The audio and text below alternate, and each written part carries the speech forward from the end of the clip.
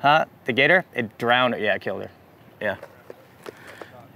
Um, but the gators we're seeing right now, they're only, I mean, the biggest one I've seen lately is maybe eight feet, seven, eight feet long. Normally takes like a 10 foot gator to kill a dog or a child.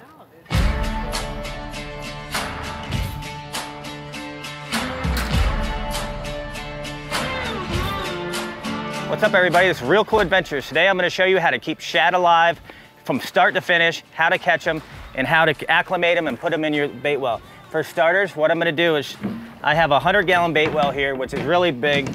A lot of people don't have a bait well or a boat that big to keep it alive, but it's real important with shad, they're fragile, to have a large volume of water going in a circle. If you don't have a bait well this big, you can do almost the same thing with a garbage can in your boat. But follow me right here. What I've done is this is where the drain comes.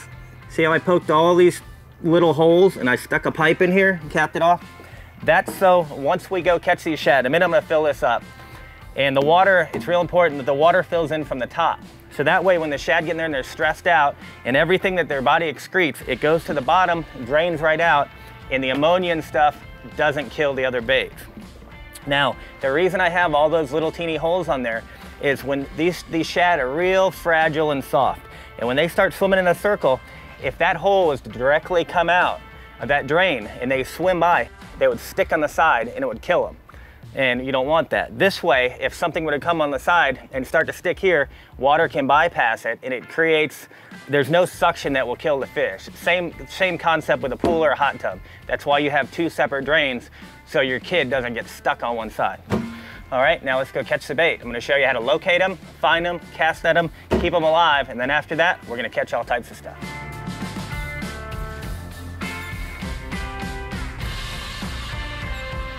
Okay, so now we're taking off. We're gonna go out, we're gonna locate the shad. It's the middle of the day, probably the hardest time to find bait because people are driving all over the place and it's just not that easy. But what is it to our advantage. If you don't have a depth finder, okay, any lake that's holding shad, normally in the, in the middle of the day, what the shad will do is they'll go ball up in the center of the lake and you can find what I call an indicator species, a pelican, an osprey, something that's flying around, let's see, right there's a pelican, something that's flying around and he knows the bait's there, he can't see him in low light conditions early morning. So it makes it really easy. If you don't have a depth finder, you can literally watch these pelicans. As soon as they hit the water, you just have your buddy drive the boat right up, throw the cast net next to that because what the Pelican's doing, he's going right into a large round school of bait that can be anywhere from 5, 10, 15, 20 feet wide. He's going, driving right in, grabbing one of those baits. And what we'll do is pull up, throw our net, grab them, put them in the bait well, and we're on our way. So now that's being said, if Cam, if you turn around, look at all these birds right here. See those? Those are indicators. Actually, those are the wrong type of bird. Um, to the left of those, it's real important that you locate the right birds. Some of those other birds, there's this upwelling where the air is pushing up and they're just doing the whirly bird. Those birds are irrelevant. What we're looking for is birds that prey and eat the shad, okay? So what we have here, there's several ospreys. There's two ospreys right here. They're doing a nice tight circle, which means there's probably a large school of bait right there. But what I like to find, which to me is the best and the easiest thing to find, is a pelican.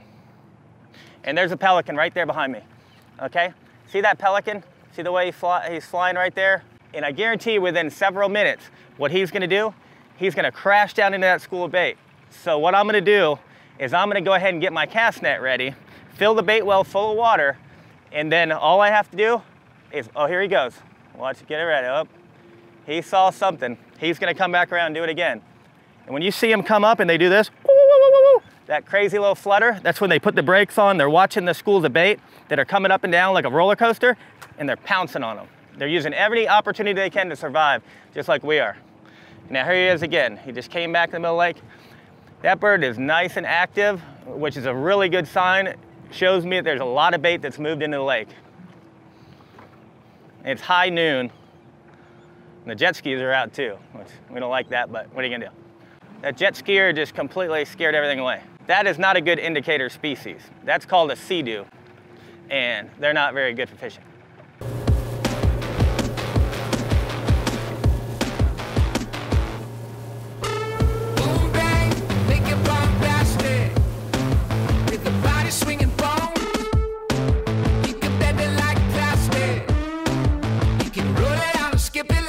Is how you run and gun for shad.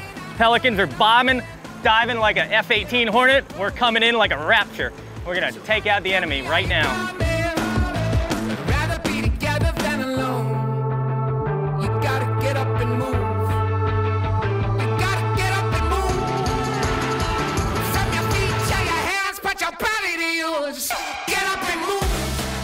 So a lot of times in South Florida, pretty much anywhere, when you're, when you're fishing a new body water or a large lake and you need to read and you want to figure out the contour of the lake, the depth and where stuff is. Okay, when I was a kid, I lived on this lake for 20 years and a lot of this stuff wasn't here. They were literally fields. But if you look, if you look back behind us and if you see the way these yards come up and some of them come up like this, 5, 10, 15 feet, I know that it's shallow there because they didn't really bring a lot of fill. They didn't dig a lot of that to build the house. But if you move your way this way and you follow us this way, that house is 20 feet up in the air. That's because years ago when they were dredging this lake, they literally dug giant holes and pulled the fill up on there. So I know for a fact there's a deeper spot here. That's why the baits congregate and they hold in these spots. So whenever you get to a lake, if you kind of read the shoreline a lot of times and you see a hill or something and it's man-made, that's because they pulled that muck and that dirt and that fill up on the shore, and that's gonna be a nice deep spot, and you're gonna probably wanna lock that into your uh, GPS because that's where the fish are. And if there's bait, there's fish. Promise you that.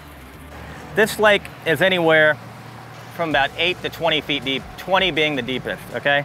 What I've done is I've set my depth finder up. Knowing that this lake's only 20 feet, I have my depth finder set on 19, 20 feet, this one on 15 feet. Oh, I just marked a school bait right there. Now, the reason I do that is because I can get a more accurate reading when my spectrum of, my water column is from here to here. If I go like this, it's gonna look like a little school of bait up here and you're gonna overshoot it and you're not gonna be able to read it accurately. So you wanna calibrate your depth finder to the depth, the, the largest depth that you're in, you want to go to that and leave that setting there. And that'll, that'll give you a way more accurate description of where the bait is. Now, what I'm doing is I'm idling along and a pelican just dropped over here, so I know there's gonna be bait in this area. Now, I don't know if you can see it with the light. It's really hard to see. I marked a school, a little school of bait down there towards the bottom. Okay, we're in 15 feet of water. I guarantee you that is not what we're looking for. If you cast net something down deep on the bottom like that, you're gonna get hung up with catfish, um, some type of debris under the water, and stuff you don't want. The shad really need that sunlight. They, they use that to survive. So they will stay on the top of the water column, anywhere from, let's say the deepest spot of the, of the lake is 10 feet, they're gonna be from five feet and above. If you mark stuff from halfway down into the bottom, they are not shad. They're probably gonna be, uh, God only knows what, bass, anything. There's all types of weird stuff everybody's let go here, uh, speckle perch, stuff like that. But that's not what we're looking for today. We want stuff that's from halfway through the water column to the surface. And then another thing is, like the pelican, for instance, there's no way that pelican can physically dive down into the water and go down that deep. He's hitting that school of bait that's anywhere from four feet to the top. So what I'm doing now is I'm driving around and I'm looking and I'm trying to mark a school of bait and I kind of want it to be round, okay? Because it's a ball. I want that ball of bait. I don't want some scattered little baits because they're really hard to cast it that way. So I'm trying to locate some bait that's in the top of the water column. Once I mark them, what I'm gonna do is I'm gonna take the boat, get my net ready, come upwind of it, and drift right on that spot. And what I'm gonna use is an indicator. Once I mark them there, you can just take a leaf or anything like this. So for instance, let's say, let's say I mark bait right here. All I'm gonna do is I'm gonna take that leaf, throw it right there okay? I throw that in the water. It's gonna stay right over top of those baits. I turn the boat around, get set up, and I use that leaf as an indicator. I find that leaf, throw the cast net on that leaf, and I know the bait are underneath it. It sinks down, I got them, and we're on our way to catch fish. I mark them, I'm gonna turn around. It's like I'm on the toilet. It's go time. Throw my leaf over there. I cast net right on the leaf. All right, get ready. Watch I don't hit you because I'm about to knock these little fish out. Wow. It's for you, baby. Let it sink down, and I like to pull the net at an angle so it closes on them and they can't swim underneath it.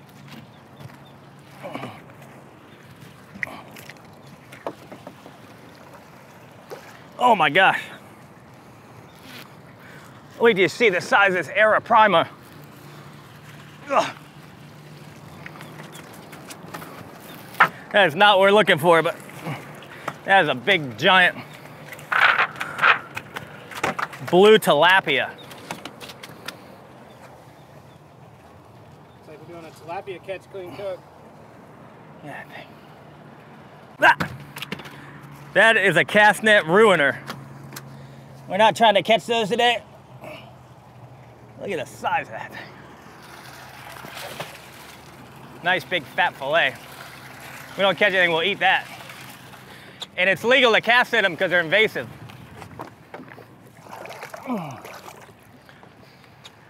Thought that was a ball of bait, it was so big. Now we're looking for though.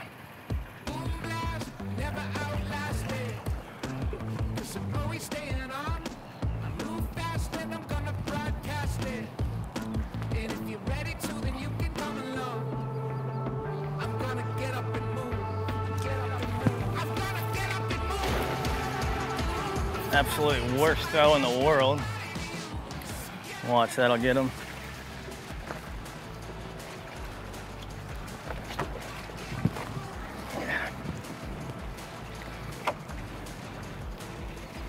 Got a couple. Not really many as we wanted, but the right species.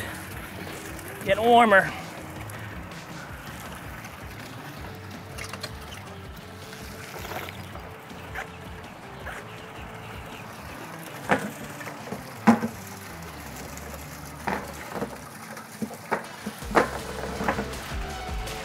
Well, we're gonna crash into the wall.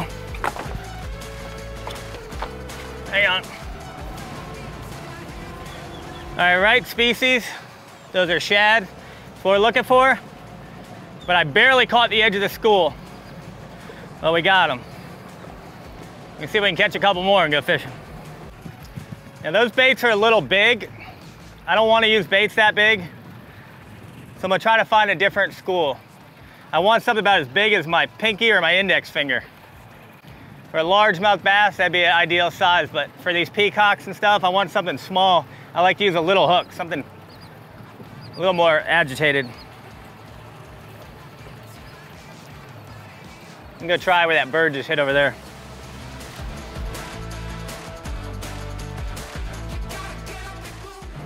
Come on, bird, dive right in front of me. There he goes.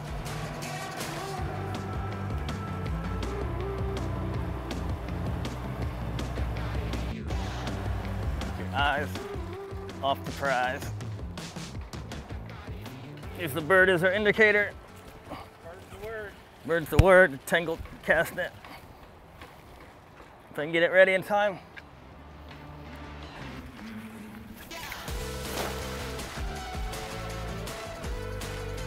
That doesn't catch one. Know.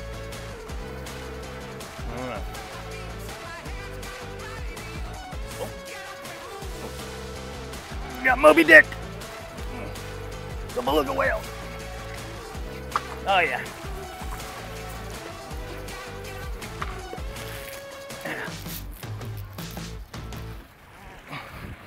That's what we're looking for right there.